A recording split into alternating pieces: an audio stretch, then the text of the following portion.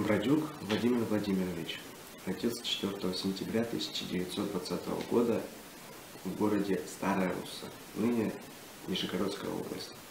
Призван ряды РККА в 1939 году.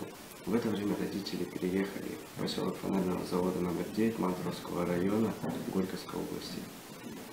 Войну он встретил в должности помощника командира взвода первого добровольческого отряда 12-й отдельной краснознаменной бригады морской пехоты Северного флота.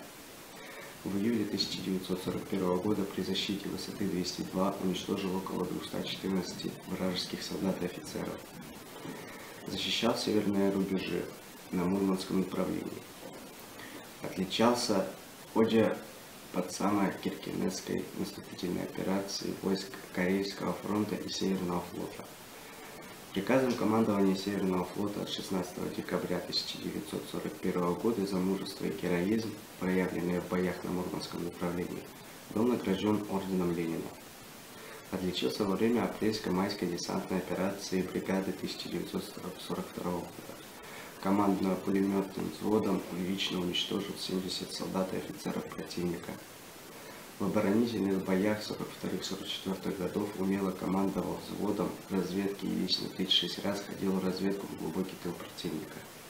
Благодаря личному мужеству командира и грамотному руководству взвод Бродюка выполнил несколько важных боевых задач по разгрому опорных пунктов противника – уничтожил десятки единиц боевой техники противника и сотни солдат. Период прорыва сильно укрепленной обороны противника на хребте Муста-Тунтура в октябре 1944 года, будучи командиром взвода разведки, э, решительно атаковал опорный пункт противника и разгромил его. При этом было захвачено 11 пленных, уничтожено 12 огневых точек, 6 землянок, одна минометная батарея и ряд окопов. Броском по пятам наступающего врага взвод Байдюка разгромил опорный пункт противника, подорвал тяжелую арт-батарею, не дал возможности врагу эвакуировать и подорвать военное имущество. При разгроме противника были захвачены оборонительные сооружения и большие склады с военным продовольствием.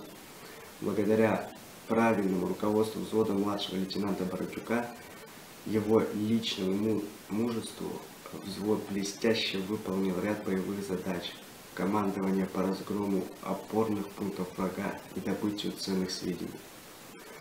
Указом Президиума Верховного Совета СССР от 5 ноября 1944 года за умелое командование разведвзводом и героизм проявленных в боях с немецко-фашистскими захватчиками младшему лейтенанту Бродюку Владимиру Владимировичу присвоено звание Героя Советского Союза с вручением Ордена Ленина и медали «Золотая звезда».